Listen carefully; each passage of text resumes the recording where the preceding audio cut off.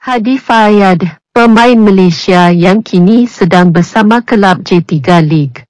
Azul Claro Numazu secara pinjaman berjaya muncul sebagai pemain Malaysia pertama yang turun beraksi secara rasmi dalam saingan J League hari ini.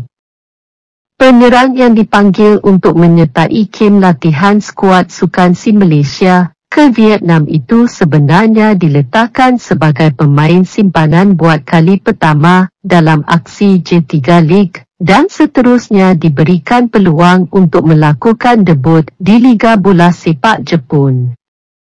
Berdasarkan rekod rasmi yang dikeluarkan oleh J League Data Stats, Hadi Fire kini memiliki 6 minit permainan dalam Liga Bola Sepak Profesional Jepun selepas mengumumkan ketibaan beliau bersama Fagiano Okayama sekitar bulan Disember 2018 yang lalu.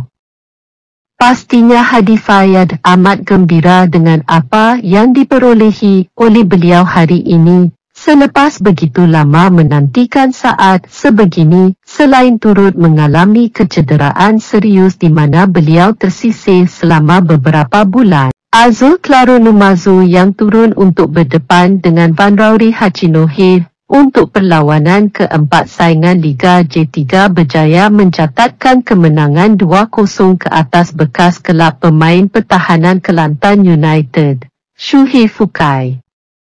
Sebelum ini dua pemain Malaysia, iaitu Wan Zek Haikal dan Nazirul Naim pernah bersama kelab FC Ryukyu tetapi pada ketika itu saingan J3 League masih belum wujud dan Wan Zek Haikal telah beberapa kali diturunkan dalam aksi Japan Football League JFL.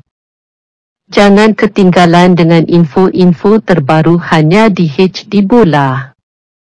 Yang belum mengikuti lagi, sila tekan simbol subscribe. Sertakan butang loceng notifikasi untuk dapatkan info baru di sini.